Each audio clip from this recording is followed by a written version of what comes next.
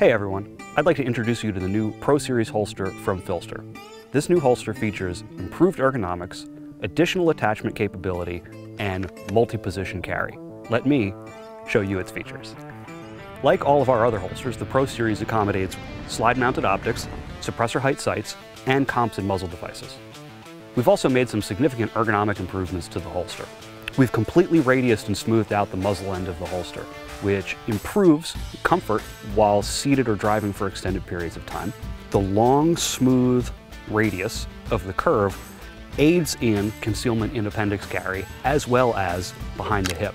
So there's no sharp corner anywhere to contact the body and create a hot spot.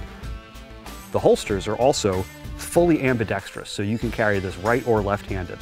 You'll be able to attach all sorts of popular hardware to your holster. Clips, the DCC monoblock, and the tuck strut, in addition to the standard soft loops that come with it.